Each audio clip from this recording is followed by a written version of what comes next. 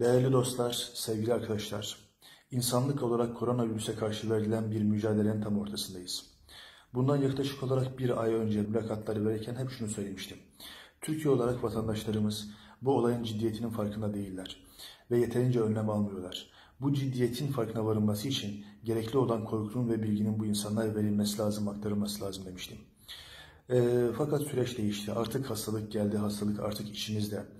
E, yakınlarımız, akrabalarımız, eşimiz, dostumuz ve bazen benim gibi biz de e, bu hastalığa müzdarip olabiliyoruz ve hastalıkla muhatap olabiliyoruz. Bu nedenle artık insanların hastalığı tanımak gibi bir e, sorununun olmadığını inanıyorum.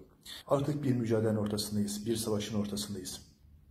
Bu insanlara artık korku değil, umut ve cesaret vermek gerekir. Umut vermek gerekir. Şöyle ki bazı dostlarım beni arıyor. Ya hocam ne yapalım artık? Ee, hepimize bulaşacakmış diyorlar. Hayır, hepimize bulaşmayacak.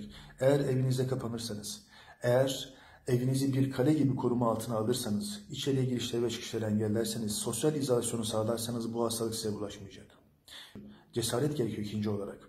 Hastalık eğer size bulaşmışsa büyük bir ihtimalle hastalık dahi oluşturmadan, şikayetleriniz dahi olmadan kendiliğinden geçecek. Şunu çok iyi bilin ki hastalık dahi oluşursa çok hafif geçecek.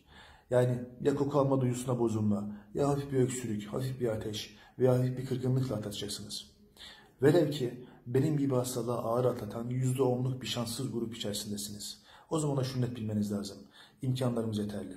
Artık tıbbın bu hastalık konusunda öğrendiği birçok şey var ve elimizde birçok silah var artık. Ağır bir hastalık olsa bile bu ağır hastalığın sizi yoğun bakıma sokması ve yoğun bakımda ölüme götürme olasılığı önceki dönemlere göre çok çok az. Yani bundan yaklaşık olarak 15 gün önceye göre çok daha iyi konumdayız. Bir ay önceye göre çok çok daha iyi konumdayız. Artık insanlarımızı çok daha iyi koruyor, çok daha iyi savunabiliyoruz hastalığa karşı. Bu hastalık karşısında artık ümit olmanızı ve cesur olmanızı tavsiye ediyorum. Allah sizleri, sevdiklerinizi ve bütün bir insanlığı korusun. Allah'a emanet olun.